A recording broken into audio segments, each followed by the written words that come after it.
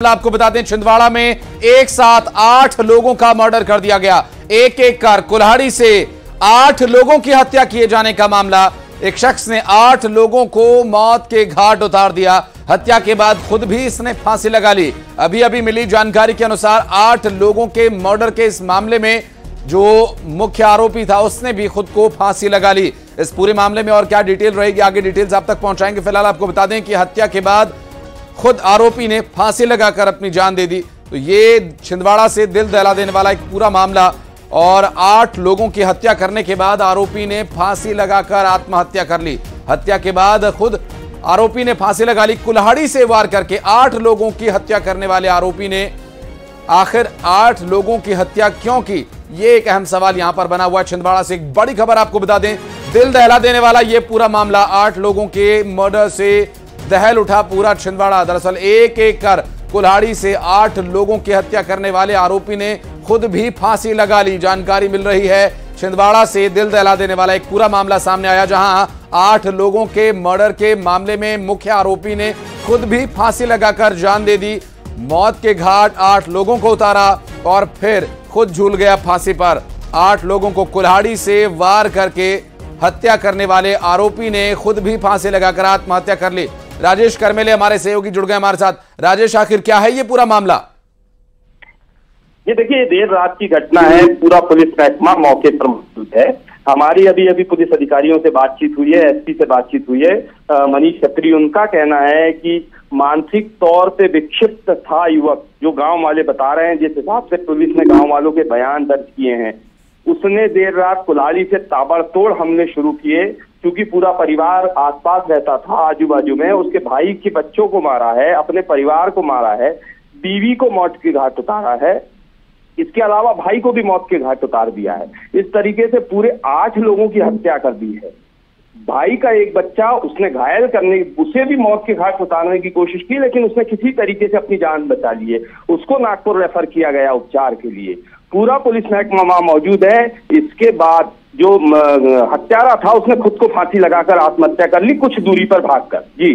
तो कुल मिलाकर नौ लोगों की मौत हुई है इस मामले में और कारण कोई स्पष्ट हो पाया तात्कालिक कारण कोई विवाद हुआ था या कोई बात किसी जिस वजह से ऐसा उसे ट्रिगर हुआ कि उसने कुल्हाड़ी उठा ली? जी बिल्कुल अभी कुछ साफ़ नहीं है। अभी हमारी जो पुलिस अधिकारियों से बात हुई है उनका कहना है कि चूँकि रात के दो से तीन बजे की घटना है पुलिस मौके पर मौजूद है। अभी जाँच पड़ताल चल रही है, जो गाँव वालों के बयान दर्ज किए हैं, गाँव वालों का जो कहना है कि भाई, ये जो युवक था, ये काफ़ी लंबे समय पर अजीब सी हरकत करता था और उसने इस घटना को अंजाम दिया है। पुलिस अभी किसी नतीजे तक नहीं पहुँची है। क्या मामला था? परिवार के सारे लोग चूँकि मौत के घाट उतार दिए गए हैं, जो बचे हैं, वो इधर उधर चले गए हैं। इस वजह तरह के, कोई कारण सामने अभी तक नहीं आ पाया है। जी। और पुलिस ने क्या मामला दर्ज किया राजेश और क्या कोई प्रत्यक्षदर्शी जो इस बारे में बताया हो, उससे आपकी बात हुई? जी देखिए, हमारी जो बातचीत हुई है, वहाँ चूँकि काफ़ी इंटीरियर इलाका है, बोदल कछार आदिवासी का इलाका है, एक टोला माना जाता है। इस वजह से बातचीत किसी से नहीं हो पाई है। पुलिस अधिकारियों से ज़रूर बातचीत हुई है। उनका कहना है कि पूरा पुलिस फोर्स वहाँ पहुँचा हुआ है। चारों तरफ़ नाकेबंदी की गई है। क्योंकि हत्यारा कुछ ही दूरी पर मिल गया, इस वजह से आरोपी का पकड़े जाने का कोई सवाल नहीं, लेकिन बावजूद इसके और भी कोई शामिल था या नहीं, इसकी जाँच पड़ताल अभी की जा रही है। किसी तरह की कोई बातचीत या किसी नतीजे तक पहुँचने की पुलिस ने अभी कोई बात नहीं की है। जी। और और भोपाल चलेंगे हमारे सहयोगी शैलेंद्र, इस वक्त हमारे साथ जुड़ गए शैलेंद्र, छिंदवाड़ा से दिल दला देने वाला एक पूरा मामला, जिसमें आठ लोगों की हत्या करने वाले ने खुद भी सुसाइड कर लिया। जी, देखिए, बिल्कुल छिंदवाड़ा के तामिया से ये आदिवासी जिला है और यहाँ से जो खबर आ रही है हैरानी करने वाली है कि एक युवक ने आठ लोगों को, जो जो बोदल कछार गाँव है, यहाँ पर आठ लोगों को मौत के घाट उतार दिया उसके बाद उसने फांसी कर ली। निश्चित ही ये सरकार के भी संज्ञान में आने वाला मामला क्योंकि इस तरह की घटना हुई है, वो मानसिक विक्षिप्त था, या मानसिक कोई वजह थी, या उसके साथ कोई और शामिल था, अभी सबकी निश्चित ही, क्योंकि डीजीपी मुख्यालय से भी जानकारी अधिकारी बुलाई जाएगी घटना के बारे में पता लगाया जाएगा। यहाँ से भी पुलिस प्रशासन पूरे मामले की सूचना ले रहा है कि ये घटना क्यों हुई है, क्योंकि देर रात की घटना है तो निश्चित ही पुलिस अफसर सक्रिय है और पूरी रिपोर्ट भी जल्द ही शासन को भी सौंपी जाएगी कि क्या है पूरा मामला। जी, बिल्कुल। लेकिन शैलेंद्र, इसमें एक और महत्वपूर्ण बात यह कि कुछ बच्चों पर भी आरोपी ने हमला किया, जिसमें एक बच्चा तो बच गया। और कुछ बच्चों की भी हत्या करने का इस पर आरोप था और खुद भी इसने फांसी लगा ली। हाँ देखिए, बड़ा ही चौंकाने वाला वाक्य है, क्योंकि जिस तरह की घटना हुई है बहुत ही गंभीर है, और बच्चों पर भी हमला किया उसने जितने भी वहाँ लोग थे, जो भी उसके सामने आया, उसको उसने कुलाड़ी से वार कर मौत के घाट उतारने की कोशिश की।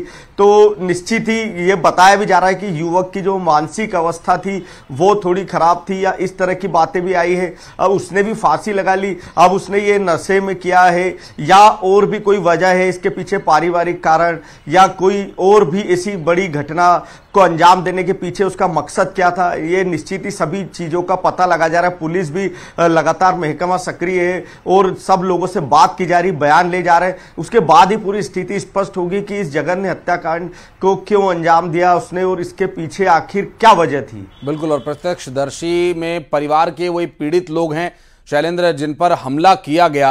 रात का वक्त था और भी कोई आसपास लोग नहीं थे जो बीच बचाव कर पाते उस समय। जी, देखिए, बिल्कुल ये जहाँ पर घटना है, वो घर था और वही, वो उनका ही रिश्तेदार है और उसी ने ये पूरी घटना को अंजाम दिया। तो सब नींद में थे, बताया जा रहा, रात को ढाई तीन बजे की घटना, अल सुबह की, और सब लोग गहरी नींद में थे और उस समय अचानक से उसने हमला किया। अब इस समय क्या मानसिक स्थिति थी और उसने इस तरह एक एक करके तो आसपास के गाँव भी का गाँव में छोटे छोटे जो घर होते हैं, वो थोड़ी खेतों में दूरी पर भी होते हैं। तो निश्चित ही कोई बचाने का किसी को मौका भी नहीं मिला कि वो जाकर बचाते या लोगों को आवाज़ आई कई लोग गहरी नींद में थे और गहरी नींद में ही उनके ऊपर सीधे कुलाड़ी से उसने आ, हमला किया और उनके ऊपर सीधे आ, वार किए कई लगातार नसंस हत्या है ये लगातार वार किए।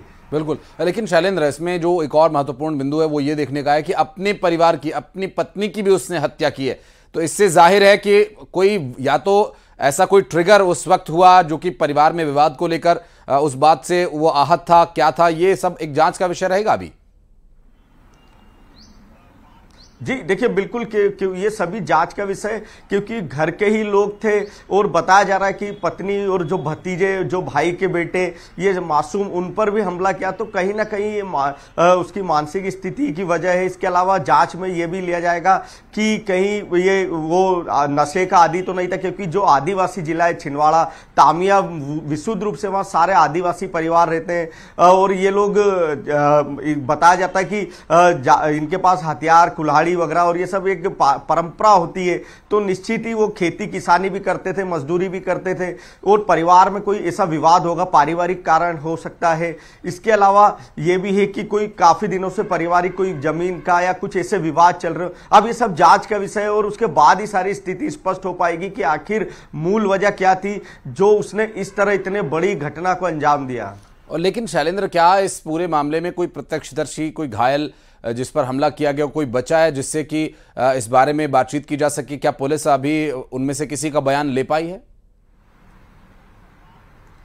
जी देखिए बिल्कुल पुलिस महकमा पूरी सुबह से ही मौजूद है घटना के बाद से और कुछ युवक जो बच गए उसके हमले से जो भाग गए थे तो एक दो ऐसे उसके परिवार के जो छोटे बच्चे वो पुलिस को बता रहे हैं पूरी घटनाक्रम की क्या हुआ था। हम भी गहरी नींद में सोए हुए थे और हम लोग भी जब आवाज़ आई तो हम भागे। इस तरह की पूरा भी वाक्य बताया तो पुलिस पूरे बयान दर्ज कर रही है और भी आसपास के लोगों की इसलिए बयान आ, होना मुश्किल है क्योंकि उनसे पूछा तो जा रहा है लेकिन सब सो रहे थे तो कोई भी प्रत्यक्षदर्शी ऐसा नहीं है जो आसपास का हो। हालाँकि जो घर के ही बच्चे बच गए वो पूरा वाक्य बता रहे हैं पूरी घटना बता रहे हैं और निश्चित ही ये बड़ी हैरान करने वाली आ, वाली घटना है। इस तरह का इतने सारे लोगों को मौत के घाट उतारना तो कहीं ना कहीं आ, बहुत ही बड़ा कारण है। लेकिन अभी पुलिस कुछ भी बोलने से बच रही क्योंकि जब तक पूरी तफ्तीश जब तक पूरे बयान नहीं हो जाते घटनाक्रम सिलसिलेवार पता नहीं चल जाता तब तक पूरी पुलिस अभी कुछ भी बोलने से भी बच रही है, क्योंकि पूरे क्षेत्र में भी संवेदनशील स्थिति है और वहाँ बड़ी संख्या में लोग जुटने लगे हैं। आसपास के ग्रामीण भी इकट्ठा हो गए, क्योंकि ये परिवार वहाँ काफ़ी पुराना है, लंबे समय से रह रहा है। तो अभी सारी चीज़ों के बारे में पुलिस की तरफ़ से अधिकृत बयान और पूरी घटना की जानकारी अभी आना बाकी है। हालाँकि ये ज़रूर है कि जो युवक है, उसने खुद भी फांसी, वो खुद भी मर चुका, आत्महत्या कर ली है। तो इसकी पूरी वजह का भी अभी साफ़ आना सामने बाकी है। बिल्कुल, शैलेंद्र, और कुछ जो दर्शक हमारे देरी से हमारे साथ जुड़े हैं और जिन्होंने देरी से ये देखना शुरू किया, जिन्हें ये पूरा मामला नहीं पता, उनके लिए बताइए कि आखिर ये क्या मामला है, कहाँ से और कब इसके बारे में खुलासा हुआ और अभी क्या कुछ कार्रवाई चल रही है।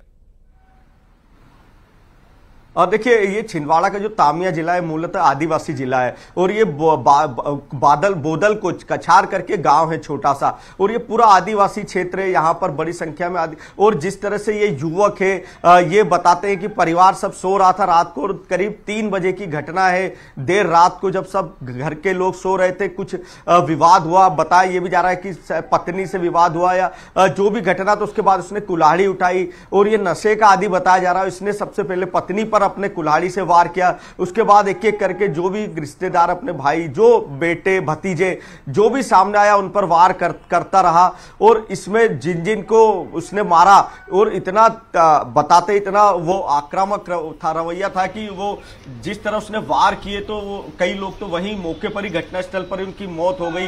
और वहाँ से लोगों को भागने का जो एक दो रिश्तेदार थे वो भागकर अपनी जान बचा सके। बाकी वो सभी पर हमला कर रहा था और बड़ी उस समय का जो हत्या करने की ठान कर ही उसने कुल्हाड़ी उठाई थी और ऐसा नहीं था कि गुस्से में आकर किसी को मारने की कोशिश लेकिन हत्या करने का इरादा वो बना चुका था। राजेश से बात करेंगे। राजेश कर्मेले हमारे सहयोगी जुड़ गए हमारे साथ शैलेंद्र उनके पास चलते हैं अभी। राजेश अभी क्या डिटेल्स मिल पा रही हैं? पुलिस ने किन धाराओं के तहत मामला दर्ज किया है? और जाँच पड़ताल में किन पहलुओं पर सबसे पहले विचार किया जाएगा? कहाँ से जाँच शुरू होगी? क्या कोई डिटेल मिल पा रही है इस बारे में? जी बिल्कुल देखिए छिंदवाड़ा के पुलिस अधीक्षक और पुलिस के पूरे अधिकारी मौके पर मौजूद है।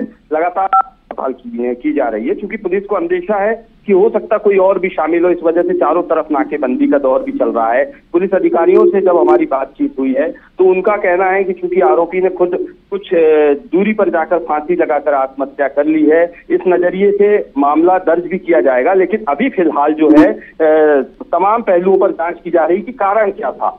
पुलिस मुख्य तौर पर कारण जानने लगी है। जो गाँव वालों का कहना है आसपास के लोगों का कहना है, उन लोगों से जब पुलिस ने बातचीत की तो अधिकारियों का ये कहना पड़ा कि मानसिक तौर पर थोड़ी स्थिति उसकी ठीक नहीं थी, जिस दौरान उसने हत्या की है, वो कहीं ना कहीं कुछ समय पहले उसका पत्नी से विवाद चल रहा था, ये एक कारण सामने आया है, और उसको बचाने के चक्कर में जो लोग सामने आते गए, मौत के घाट वो उतारता चला गया। अभी तक जो स्थितियाँ सामने हुई है, पुलिस इस नतीजे पर पहुँची है। जी। और देर रात बताया जा रहा है कि इस पूरी वारदात को अंजाम दिया।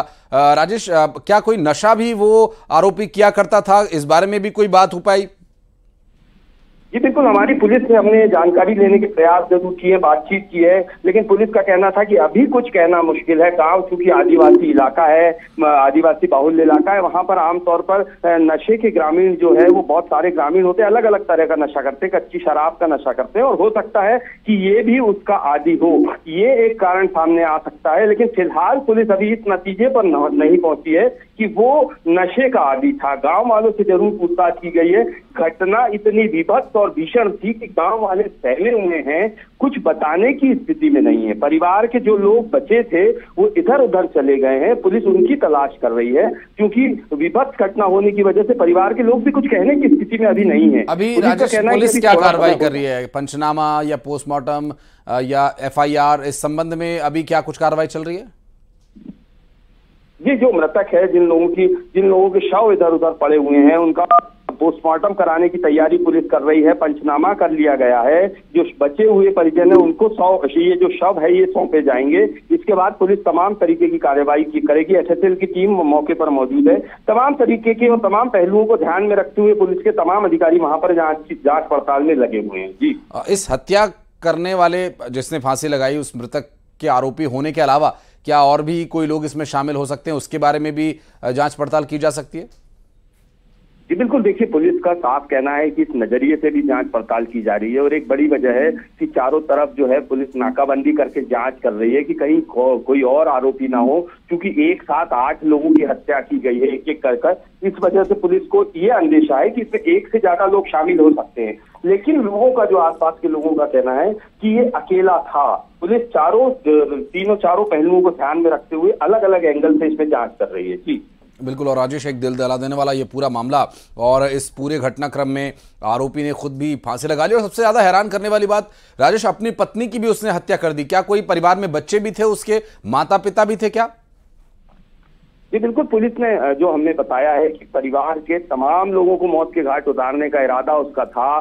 उसने अपने पत्नी, बच्चे और भाई के बच्चे और भाई को भी मौत के घाट उतारने का क्योंकि भाई के एक बच्चा जो था, उसको ज़रूर उसको उस पर हमला किया। वो किसी तरह से अपनी जान बचाकर भागा है। उसे अस्पताल में भर्ती कराया गया है। गंभीर हालत की स्थिति में नहीं है। इसके अलावा जो परिवार और उसके भाई के जो रिश्तेदार, भाई की जो पत्नी थी, उसको भी मौत के घाट उतार दिया। इसके अलावा उसने अपने परिवार के माता पिता पर भी हमला करने की कोशिश की और जो पत्नी के साथ जो बच्चे थे, उनको भी मौत के घाट उतार दिया। जी। बिल्कुल, और राजेश, अभी वास्तव में ये जो पूरा घटनाक्रम सामने आया ये एक बेहद गंभीर मामला है। हालाँकि इसमें अभी तक कारण स्पष्ट नहीं हो पाए। ये एक अहम सवाल बना हुआ है कि आखिर ऐसी क्या स्थिति रही हो सकती है कि एक व्यक्ति अपनी पत्नी, अपने बच्चों, अपने भाई के बच्चों की और भाइयों की हत्या करने को आमादा हो जाए। कुल कितने लोग थे परिवार में? कितने उसके भाई थे? उनके क्या बच्चे थे? और कौन कौन लोग इस हत्याकांड का शिकार हुए इस बारे में कोई डिटेल मिल पाई क्या? जी, अभी तक जो हमें जानकारी मिली है उसके मुताबिक 12 से 13 लोग उसके परिवार में, उसके और उसके भाई के परिवार में रहते थे, आसपास घर थे। लेकिन जो जिस तरीके से उसने पहला हमला किया, क्योंकि चीख पुकार मची तो आसपास जो लोग रहते थे, उसके रिश्तेदार, खासतौर पर भाई के परिवार वाले, वो भी बचाने सामने आए। लेकिन चूँकि उसके सर पे खून सवार था, उसने तमाम लोगों को मारना शुरू कर दिया। कुल्हाड़ी से उसने एकाएक ताबड़तोड़ हमले किए, लोगों को संभलने का मौका नहीं दिया। यही वजह थी कि सारे रिश्तेदार एक एक एक करके आठ लोगों को ढेर करता चला गया। जी। बिल्कुल, और राजेश पोस्टमार्टम और अन्य जो प्रक्रिया, वो कब और कैसे होगी, इस पर और डिटेल्स आपसे अभी लेंगे। फ़िलहाल चलते हैं भोपाल, हमारे सहयोगी इस वक्त हमारे साथ जुड़े हुए हैं। शैलेंद्र चौहान, अभी शैलेंद्र, जो स्थिति दिखाई दे रही है, जिस तरह से राजेश बता रहे हैं, अभी बिल्कुल ताज़ा ये घटना है। और हो सकता है कि कुछ और लोग इसमें हों जिनको तलाशा जाए या जिन्हें ढूंढना अभी बाकी है जो भागे जान बचाकर क्या उनमें से कोई लौट कर आए ये भी एक अहम सवाल रहेगा। और अभी बिल्कुल ये ताज़ा घटना घटित हुई है तो पुलिस महकमे के सामने एक बड़ी चुनौती रहेगी। हाँ देखिए बिल्कुल कानून व्यवस्था को लेकर चुनौती तो है आ, लेकिन ये घटना अभी सवाल जो है जाँच में कि आखिर ये हुआ कैसे और इसके पीछे क्या मकसद था। ये बात भी आ रही कि अगर कुछ लोग और शामिल थे, लेकिन प्रत्यक्षदर्शी ऐसा कुछ तरह का बता नहीं रहे। तो ये एक पारिवारिक कारण हो सकता है, और पारिवारिक कारण है तो उस बिंदु पर जाँच होगी और उस मामले पर पुलिस पूरी एक रिपोर्ट तैयार करेगी कि आखिर ये इस तरह का वाक्य हुआ तो क्यों हुआ। तो अभी कुछ भी कहना जल्दबाजी होगी कि इसके पीछे कोई और लोग शामिल है। अगर पारिवारिक कारण है तो पर कानून व्यवस्था को लेकर सवाल खड़े ही हो रहे हैं। और आज देखा हमने अगर आप देखें तो आज खुद सागर की भी जो घटना है दो दिन से तूल उस पर भी बना हुआ है। तो कहीं ना कहीं कानून व्यवस्था को लेकर एक बार फिर से आ, सरकार भी गंभीरता से सोचेगी और पूरे प्रदेश में कहीं ना कहीं इसको लेकर भी कुछ सख्ती बरती जाएगी और इसके निर्देश भी दिए गए हैं। तो ये घटना के बाद और चिंतनी, यही मामला है कि आखिर हुआ कैसे और इसके पीछे कौन वजह, मानसिक वजह तो क्या है ऐसा पारिवारिक कारण जो इतनी बड़ी घटना, इतना नृशंस हत्याकांड को उसने अंजाम दिया है? अभी सभी जाँच का विषय है। और यूँ भी एक असंगठित अपराध का ये पूरा मामला है, जिसमें एक पारिवारिक विवाद में किसी व्यक्ति के द्वारा परिवार के लोगों की यदि हत्या कर दी जाए तो पुलिस प्रशासन के लिए एक बड़ी चुनौती हो जाती है। संगठित अपराध में शैलेंद्र, अमूमन अपराधियों को ट्रैक करना, अपराधियों के रिकॉर्ड्स खंगालना और उनकी गतिविधियों पर नज़र रखना, वहाँ पर अपेक्षाकृत कुछ कम चुनौतियाँ होती हैं। हालाँकि चुनौतियाँ उसमें भी अपनी तरह की हैं, लेकिन वहाँ अपेक्षाकृत आपके पास एक ट्रैक होता है पुलिस के लिए और वो उसे फॉलो करके अपराधियों को अपराध करने से रोक सकती है या अपराध करने पर उन्हें पकड़ सकती है। लेकिन एक व्यक्ति जो अपने ही परिवार का संरक्षण कर रहा है, भरण पोषण कर रहा है, अगर वो ही रक्षक ही भक्षक बन बैठे तो इसमें पुलिस के लिए बहुत बड़ी चुनौती हो जाती है कि आखिर ऐसे अपराधों को कैसे रोका जाए। जी, देखिए, बिल्कुल ये मामला पारिवारिक है और यही सबसे बड़ी पुलिस हो, प्रशासन हो कि उनके लिए बड़ी चुनौती होती क्योंकि ये कोई भी नहीं मान सकता कि रक्षा की अगर भक्षक बन जाए और घर में ही कोई सोते हुए लोगों पर, अपने ही लोगों पर हमला कर दे, उनको मौत के घाट उतार दे तो इसमें पुलिस और प्रशासन भी क्या कर सकता है? लेकिन कहीं ना कहीं कारणों को लेकर एक बात होती है, पुलिस भी एक कोशिश करती है कि कारणों को जाने कि उस जो भी गाँव है मूलतः खासकर आदिवासी परिवार है तो आखिर वहाँ क्या स्थिति है, मानसिक स्थिति क्या है? प्रशासन भी इसी जगह पर जाता है और बात करता है फिर। लेकिन ये घटना चौंकाने वाली है और सीधे घर में ही सोते हुए लोगों पर हमला करना, अपने ही लोगों को इस तरह मारना, ये इसमें पुलिस प्रशासन के भी हाथ बंधे होते क्योंकि ये घटना अचानक होती है, इसमें कोई भी ऐसा, क्योंकि संगठित अपराध की बात हो, क्राइम की बात हो तो उस पर कंट्रोल करना सजा याफ्ता बदमाशों पे या जो इस तरह के क्रिमिनल माइंडेड लोग, उन पर नज़र रखना एक अलग बात है, लेकिन ये तो पारिवारिक कारण है। पर इस पर भी रिपोर्ट बनेगी और निश्चित ही कोई ना कोई एडवाइजरी या इस तरह की बात पर भी नज़र रखी जाएगी कि अगर पारिवारिक कारण है और कोई पारिवारिक शिकायत करती, इसमें यह हो सकता है कि उसकी महिला ने अपनी थाने वगैरह में शिकायत कर रखी होगी, उसके पति के बारे में कि कोई इनका विवाद चल रहा हो तो वो एंगल भी एक जांचा जाएगा कि ऐसा तो नहीं अगर उस पर थोड़ा ध्यान दिया जाता, इसकी काउंसलिंग की जाती, इस बिंदु पर ज़रूर एक जाँच की जा सकती है। बिल्कुल, और शैलेंद्र, ये आपने बिल्कुल सही एक पॉइंट उठाया कि ये अगर इससे पहले भी इस तरह की कोई हरकत ये करता रहा, अगर मानसिक रूप से विकसित है तो घर में लड़ाई झगड़े संभवतः पहले भी हुए, हो सकते हैं। हालाँकि